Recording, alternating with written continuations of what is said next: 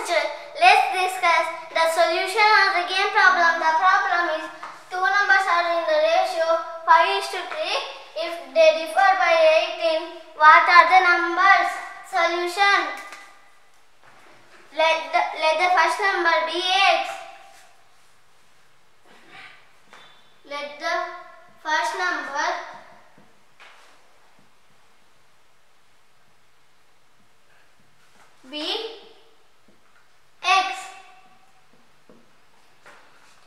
We form an equation for the given problem. According to the given problem, they differ by 18. So second, so second number is second number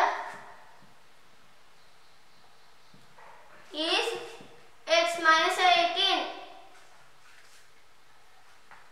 The ratio of two numbers is the ratio of two numbers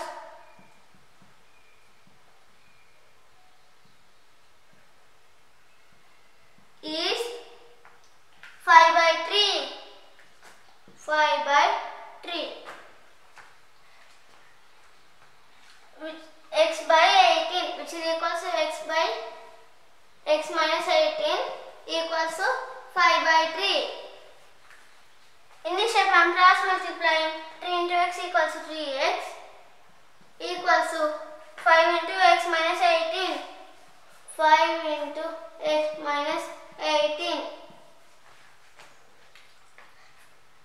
3x equals to 5 into x, 5x minus 5 into 18 equals to 90.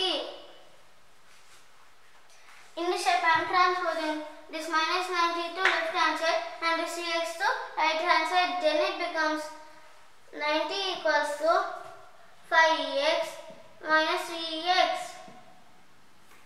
90 equals to 2x. 2x equals to 2x equals to 90. To 90 by 2. 2 plus 90, 45 times. x equals 45.